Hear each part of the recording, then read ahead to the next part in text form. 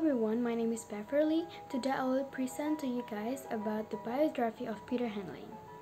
First, we will see general information about Peter Henlein. Second, we will see about values and then biblical worldview. And the last is what we should learn from Peter's life. Peter Henlein is a famous clock inventor after he issued his first clock in 1505. He was born in Nuremberg, Germany in 1485. Peter Henlein was previously a worker in a locksmith company. He is a person who is famous for his unyielding personality and tenacity uh, at work. This can be seen from his persistence in making clocks so that this clock can be useful for humans to this day.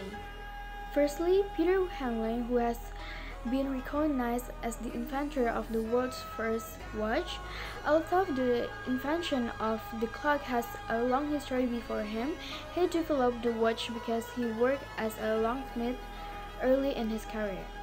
From a Christian perspective, we are taught that everything we do is for the glory of God and not for our own glory. Peter Henlein is someone who assembles clocks using the brain that God gave him. However, when fin finished making the clock, all that is known until now is only the name of his own and not the name of God. I, as a Christian person who has lived in a Christian environment since I was a child until I was teenager like now, I recall that we were created by God with various passions and uniqueness. What he has given, let everything return to him who give everything and even if we realize that we have strength, do not be proud of others, but practice this talent so that our offerings and self-service smell good in God's eyes and God's name can be glorified. Secondly, on September 7, 1504, Henlein had a fight with a fellow locksmith named George Glazers.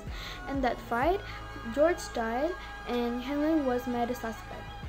Maybe from Christian perspective, Peter should not have joined the war because fighting is a sin for believers.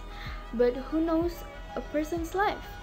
It was precisely this fight that made Peter enter a convent where people with mental problems took refuge and it was from here that he began assembling his first watch the Bible does not teach straight godness just like that. Of course, in pain, God's big plan will appear. It is like there is a verse that says, For I know what I have planned for you, says the Lord. I have plans to prosper you, not to harm you. I have plans to give you a future filled with hope. Jeremiah chapter 29, verse 11. In my opinion, God will not give something with an easy and effortless process for us to go through and again we are a sinful human who will still feel suffering in this world. Through Peter's story, I who used to give up when facing problems being taught again how we have to survive in situations that even make it difficult for us and we have to follow him and be grateful for what we still have. Thirdly, in his lifetime, he was married to three women. Kunigunde Ernst, his first wife, and Margaret, his second, and Walburga Schayer, his third wife. Based on the Bible, it says that marriage is one in a lifetime, and in marriage there can only be one woman and one man. In this case, Peter does have shortcomings, but in short, this is a lesson for viewer that marriage is holy and one in God.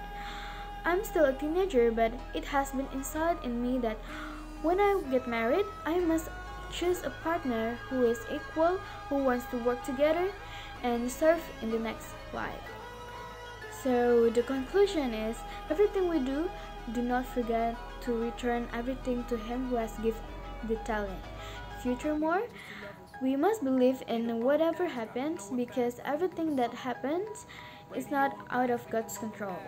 Even in marriage, the two people must work hand in hand to realize what God has planned for the marriage. Everything we do has reciprocity and we still rely on God in every step of our life.